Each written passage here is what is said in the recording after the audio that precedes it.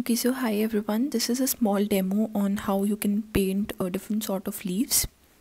Uh, this uh, for this particular video I'm using watercolors but this technique can be applied to fabric paints or poster paints anyhow.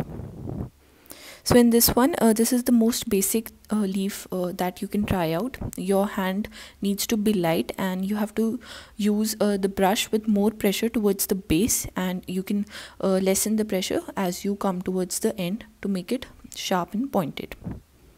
And then you can switch your brush uh, to a smaller one and with a fine tip and add in a stem to finish it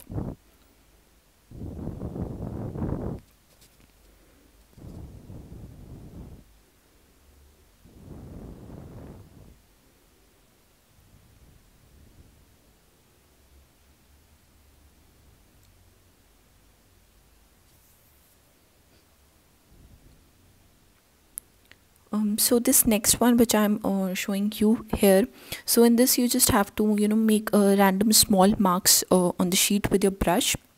These don't have to be you know any specific shape or you know size color.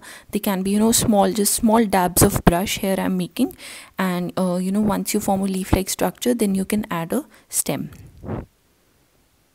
This is a very min minimalistic form of you know leaf that you can try out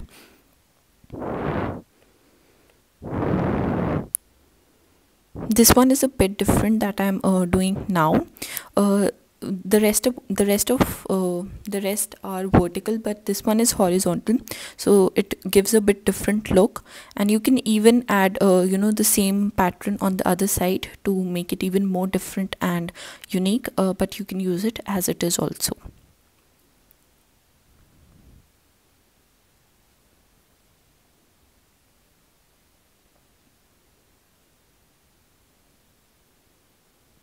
and in this one uh, i'm first doing the stem as opposed to like in the others i first did the leaves leaf part.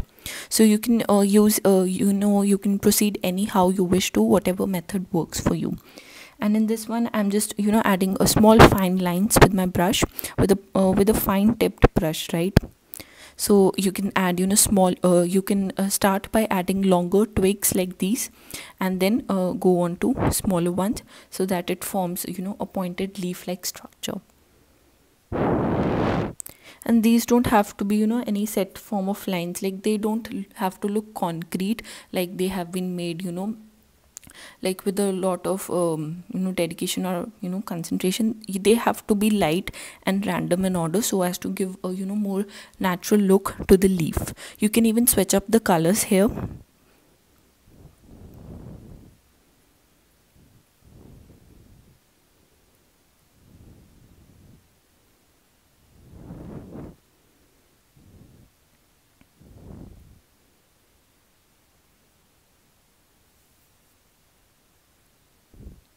so in this one uh, which i'm trying it's quite similar to the first one. Uh, the length is smaller and you can even leave a you know a fine line between the leaf. This gives a very different sort of look to it and adds more beauty to the leaf. And then you can connect it with a small stem. This is quite similar to what we see as in a mango leaf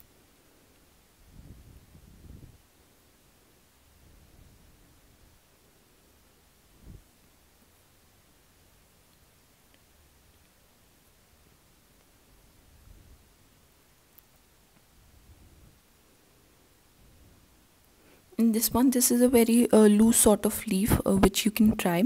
So you just have to you know make small dabs of uh, using small dabs of paint you just have to you know form a leaf like structure. It can be you know like uh, connected at any spaces or not connected you know leaving small white spaces in between then adding a small stem.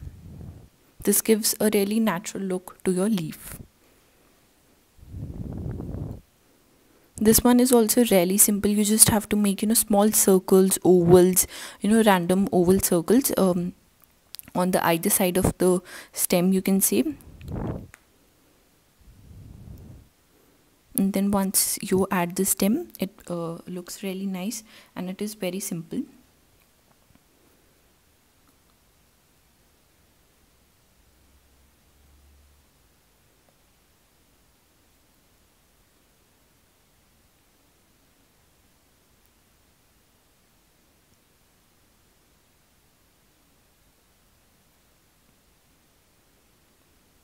so here I have also taken a different uh, color. This is a sap green mixed with a bit of uh, yellow.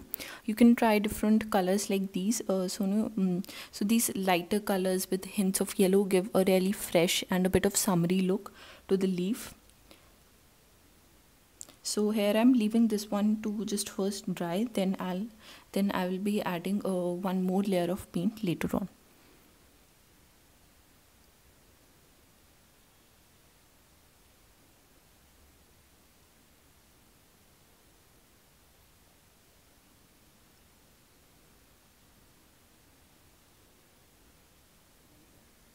you can try out a leaf like this uh, you know making long leaves uh, which are you know very thin at the base too and um, go to the same width in the top too just with a bit of uh, point at the end. And you can make these in any random order. They don't have to be you know any specific pattern or um, any specific number doesn't have to be followed here. You can add any sort of random leaves anywhere just keep in mind that uh, where your stem will follow. And on that part uh, just keep on adding leaves and then later on add a small stem to connect and finish it. This is the main thing that you have to keep in mind while making uh, leaves that uh, keep the direction of the stem in your mind so that you know where to take where your leaves have to uh, you know turn and uh, bend or take a fold right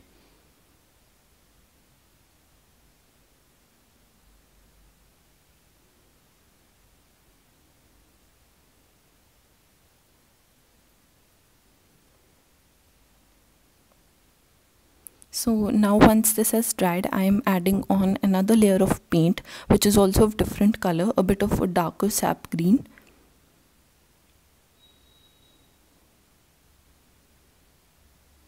This also adds uh, quite a contrast of colors and looks really nice and you can uh, try out different color combinations here. Leaves don't have to be exactly green.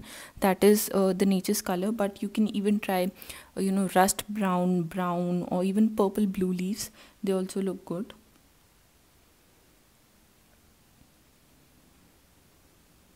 And once this dry it forms really uh, nice patterns.